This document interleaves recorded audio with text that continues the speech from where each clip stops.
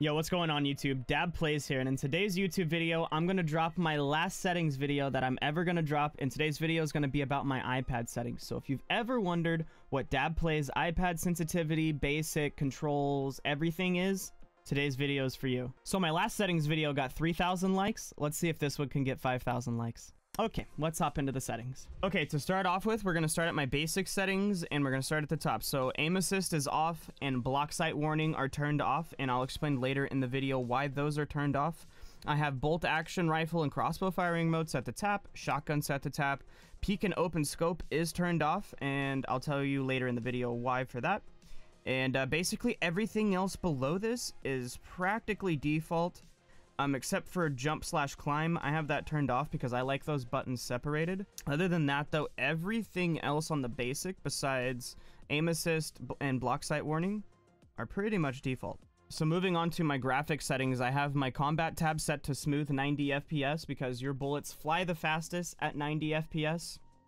I have the style set on colorful, anti-aliasing turned on to remove jagged edges, the brightness jacked all the way up, and the auto adjust graphics turned off. I have the auto adjust graphics turned off because if your game lags and you dip below 30 frames per second, it will stay locked there until you reset your game. So controls is one of the main ones I know everybody wants to see. My controls have changed dramatically from my iPhone controls, as you can already clearly see. Uh, mostly on the right hand side of the screen is where you're going to find most of the buttons. I run five finger claw and three of those fingers are on my right hand. So for my right hand pointer finger, I tap my ADS button and then the right hand middle finger literally does just about everything else on that right hand side. And then for the left hand side, you have my moving button and my shooting button as well as the backpack button. And my two fingers over here tap all those. And then I also have a special layout just for taking screenshots that have all of the buttons that aren't necessary moved all up to the left-hand corner. And that way you can take amazing screenshots without any buttons in the way. My vehicle settings are pretty much default, minus where my buttons are placed. I moved my buttons to accommodate where my fingers sit over my iPad. Um, so this is pretty much just personal to to you if you want to change it to wherever your fingers sit on your iPad. Um, that way you can you can use your vehicle buttons way faster. All right, moving on to the big one, which is sensitivity. I know everybody wants to see the sensitivity settings, and I will be uploading the link for these in the description below as well. We have my third-person camera set to 120%, my camera when parachuting set at 120%, and my first-person camera set at 84. Uh, in the main camera settings, we have third-person no-scope at 120, first-person no-scope at 104, red dot holographic slash aim assist set at 60, two-time scope at 36, three times scope at 27, four times scope at 17, six times scope at 14, and eight times scope at 12%.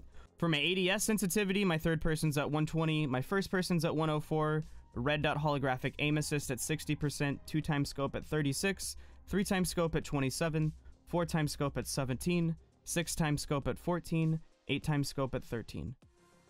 And then gyroscope really doesn't matter because I don't play gyroscope with this giant iPad. I don't hold it. It sits on a stand in front of me. But I have heard turning gyroscope for scope only, even if you're not holding it, somewhat does help with the recoil. And these are the sensitivity settings I got for that from Hot Jukes. If you guys want to copy them, um, I don't I don't know if they help at all, but you can try. So for the scope settings, my no scope is set to the white reticle. My red dot is set to the yellow reticle. My holographic is set to the yellow reticle as well. I don't use the canted sight, but I did set it to the yellow reticle as well as all of these, the red dot and the canted have the cross reticle. I don't like the just the dot style. Uh, my two times scope is set to green and my three times scope is set to green. And I do have my quick scope switch on as you saw on my controls layout. Using the quick scope switch is way faster than opening your backpack and trying to do it manually. Now, I want to go back to my basic settings and talk about why I have aim assist and blocked sight warning turned off. Uh, first of all, aim assist does not help you a whole lot. It actually hinders you, I feel, in this game. You want to be able to control where your reticle is being pulled 100% of the time by your thumb, not aim assist pulling it for you. And the reason I have block sight warning turned off is because if you're third person peeking a corner and you use the right-handed lean, you actually can see further around a corner than most players can, and you can pre-place your reticle and get little quick snipes around corners that way. Well, that wraps it up for the settings. Let's go ahead and hop into some gameplay of me putting it into action. What? What? I'm up here? No way, man.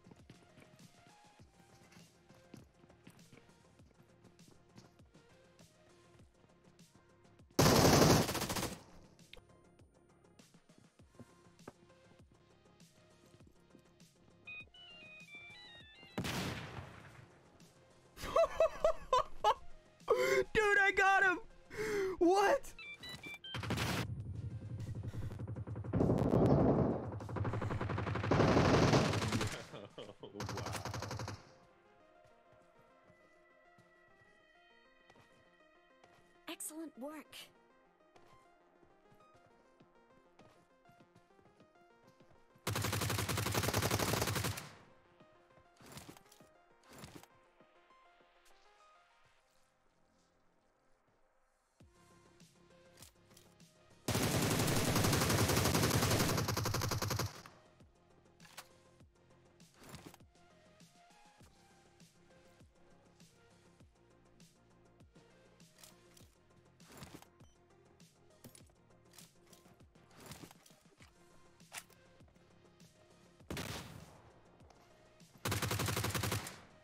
All right, that's going to be it for the settings. I hope you enjoyed the video. Make sure you drop down below and hit a like button, and we'll see you in the next one.